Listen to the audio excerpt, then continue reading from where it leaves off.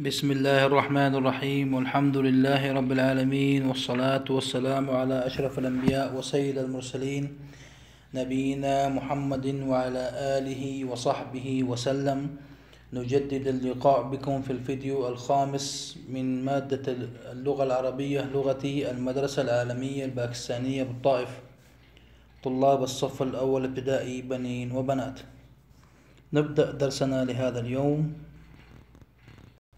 زي ما تعرفوا إنه وقفنا نحن صفحة ستة وعشرين اليوم نبدأ من صفحة سبعة وعشرين. عندنا سابعا أحاكي ياسرا في استخدامه الضمير أنا. إذا أبنائي وبناتي الطلاب والطالبات أول ضمير حتأخذوه في اللغة العربية اللي هو ضمير مكتوبة قدامكم أنا. أنا ضمير مخاطب يعني الشخص يخاطب نفسه. أول صورة عندنا أنا إيش قاعد يقول؟ ياسر. أنا ياسر. ياسر قاعد يعرف نفسه بنفسه. أنا ياسر. طيب. يعني ضمير أنا نستخدمه مع الشخص الواحد سواء مفرد مذكر مفرد مؤنث واحد. يعني لو جاء اثنين ما نستخدم مع أنا. أنا ياسر. هنا طيب إيش نقول مثلا؟ شفوي ما نكتب. أنا أم ياسر. أنا أخو ياسر. أنا أخت ياسر. إذا شفتوا كيف سابعا أحاكي ياسرا في استخدامه الضمير؟ أنا إذا تبغى تتعرف عن نفسك مثلا تقول أنا محمد أنا أحمد أنا هدى أنا فائزة وهكذا. الصورة الأولى عندنا ياسر قال عن نفسه إيش؟ أنا ياسر قاعد يعرف نفسه. طيب هنا أنا أم ياسر أنا أخو ياسر أنا أخت ياسر. عرفنا متى نستخدم ضمير أنا وكيف؟ شطار. نيجي لصفحة ثمانية وعشرين إنجازاتي. واحد أرسم دائرة حول الحرف باء ثم أكتبه. عندنا أربع كلمات. أول شيء نبغى نقرأ الكلمات بعدين ندور حرف الباء نحط على حرف الباء دائرة مع الحركة حقه فتحة كسرة ضمة سكون. بعدين نكتبه تحت حرف الباء فقط ما نكتب الكلمة كاملة. مظبوط؟ بيض بحر كتاب جبل. بيض. أين حرف الباء؟ يا سلام في البداية. إذا نحط على حرف الباء دائرة كذا ونكتبه تحت بحركة باء فتحة باء. بحر أيضا في البداية ونكتبه تحت باء فتحة باء كتاب حرف الباء في الأخير نكتبه كذا باء جبل حرف الباء في المنتصف باء شفتوا كيف حرف الباء جات في البداية كذا؟ كتبناها وكمان حرف الباء في البداية كتبناه زي بيض. في المنت في النهاية جات كذا. جات منفصل عن الكلمة. ليش؟ عشان قبل حرف الباء جاء عندنا حرف مد. عشان كذا كتبناه كذا وهنا جات في المنتصف الكلمة. ثانيا أقرأ الكلمات الآتية. تعالوا نقرأ. بلادي. شوفوا حرف الباء في البداية كيف جاء بي بيتنا. حرف الباء في البداية شوفوا كيف. مكتبة. شوفوا حرف الباء في المنتصف. حاسوب. شوفوا حرف الباء في النهاية. منفصلة. ترتبوا. حرف الباء في النهاية متصلة. كتب. حرف الباء في النهاية متصلة. ها. حرف الباء في بداية الكلمة متصلة بي متصلة بداية الكلمة باء. منتصف الكلمة باء. نهاية الكلمة منفصلة. نهاية الكلمة متصلة. نهاية الكلمة متصلة. ثالثا أكمل الحرف الناقص بحرف الباء. شوفوا هنا حرف الباء في بداية الكلمة يعني كده نكتبه. منتصف الكلمة كده نكتبه. نهاية الكلمة متصلة بالكلمة كده نكتبه. أول كلمة عندنا مكتبة. في كلام هنا في يعني في حروف إذا نكتب حرف الباء في منتصف كده مكتبة في المنتصف. هنا الحروف كله في الأخير يعني البداية فاضية نكتب حرف الباء اللي في الأول. باب. فتحة باب. هنا كمان فتحة مكتبة. كتب يعني حرف الباء. نكتبه في الأخير متصلة بالكلمة ونكتب هذا كتب.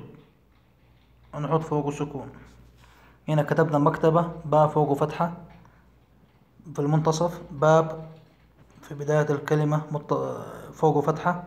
هنا الباء في نهاية الكلمة متصلة فوق سكون طيب. رابعا اكتب ما يملى علي إملاء بمساعدة بمساعدة الأسرة في البيت. أربع كلمات هنا. بحيث يكون حرف الباء في بداية الكلمة. أربع كلمات هنا بحيث يكون حرف الباء في منتصف الكلمة.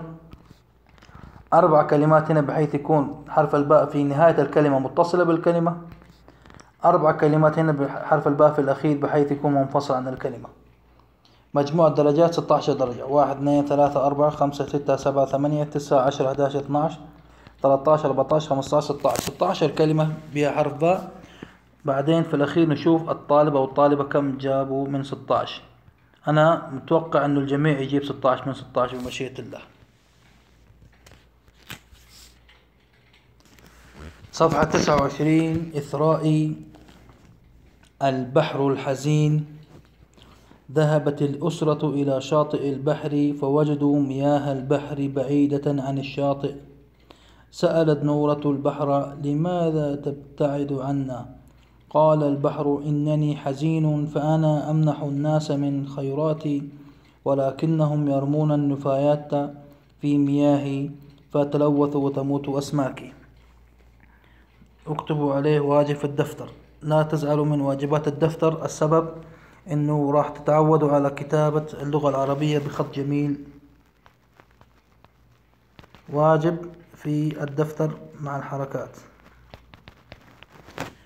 إذا في سؤال حنرجع للمقطع ثاني مرة بس في سؤال لماذا تموت الأسماك عندما ترمي النفايات في البحر؟ ليش؟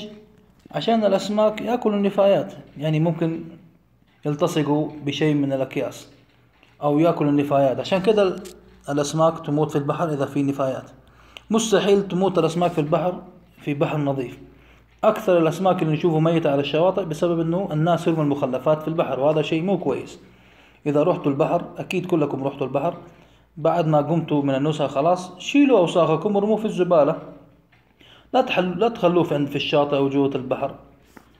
فالنظافة من الإيمان. طيب نقرأ من جديد. البحر الحزين. يعني البحر زعلان. شوفوا كلمة البحر الباء في المنتصف.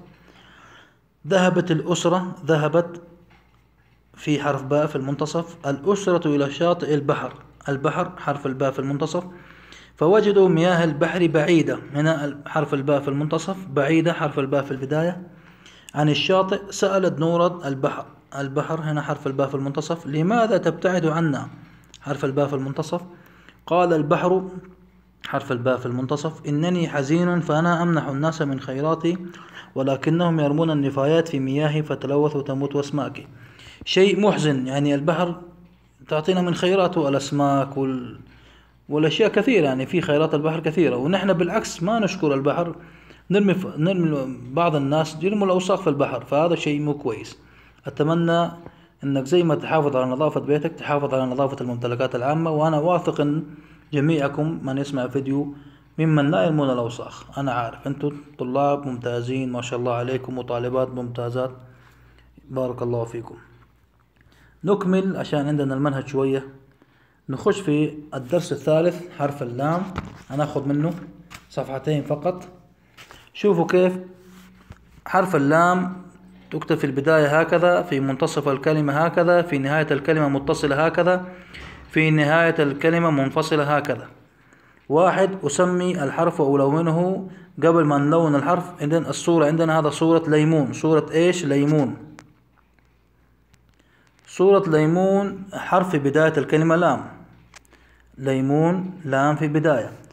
طيب خذوا الألوان الخشبية واللون الأزرق أو لون سماوي آه، كل ما تكتب قول لام لام لام لام لام لام لام لام لام لام.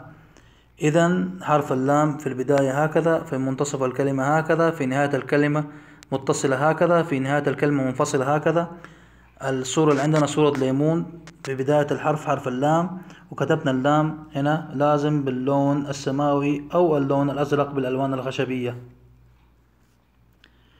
آخر صفحة ناخذ لهذا اليوم. ثانيا ألاحظ الصور وأتحدث ثم أستمع. إيش عندنا؟ هنا حرف اللام هنا عندنا حرف اللام. طيب هنا إيش قاعد يسوي الولد؟ يغسل الولد يديه. إذا كلمة يغسل فيه الحرف اللام يغسل الولد يديه الولد قاعد يغسل يده. طيب هنا إيش؟ تتناول الأسرة الطعام تتناول الأسرة الطعام تتناول في حرف اللام في الأخير الأسرة في ألف لام ثاني واحد الطعام في لام شمسية. في شيء تأخذونه بعد فيما بعد في اللغة العربية عندنا نوعين من ال القمرية والشمسية القمرية نكتب اللام وننطق اللام وفوق اللام يجي سكون.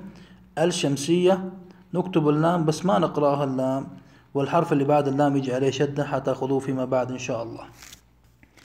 إذا نكمل صفحة 32 في الفيديو القادم.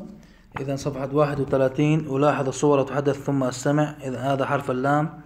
الصورة اللي عندنا إيش نقول؟ يغسل الولد يديه. الصورة الثانية تتناول الأسرة الطعام العشاء والغداء.